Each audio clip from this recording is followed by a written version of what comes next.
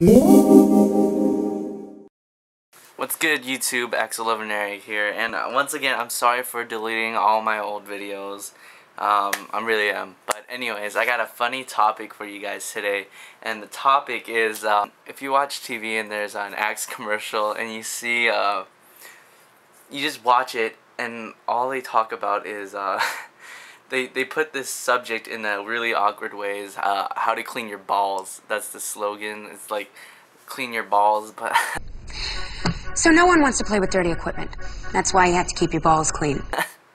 I don't know how this commercial got aired, or whatever, but anyways, let's get down to the nitty gritty. But uh, the first thing that starts out is they, they bring a, a what do you call it, uh, a champion, I, I don't know what the girl was, maybe she was a golf tour, golf uh, champion girl. Hi there, I'm Denise St. Clair and I am so excited to introduce my co-host for today's exciting event.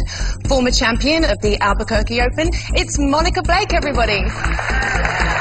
But um, they used her as a star guest in the commercial, which kind of gives a, a ugly outlook on her. So this is how it goes.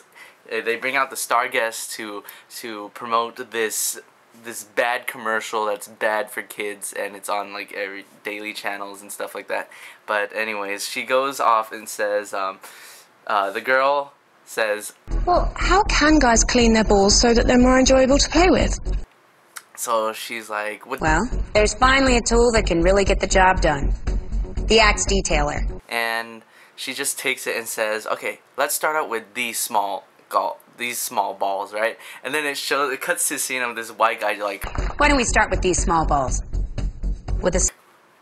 Like, like, it's funny because it just singles out Americans. Next, after that, um, some guy had tennis balls, and then he's like, "What about these? What about my balls? Can you clean these?" Can it clean these filthy balls?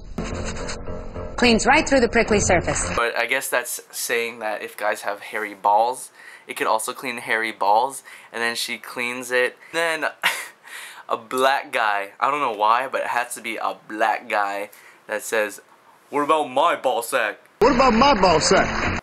And then he just has a big soccer net full of balls. And then he throws that down, and then she says, It's a big ball sack.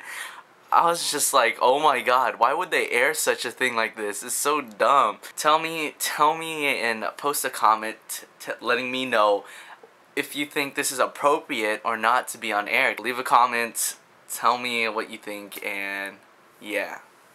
Clean your balls.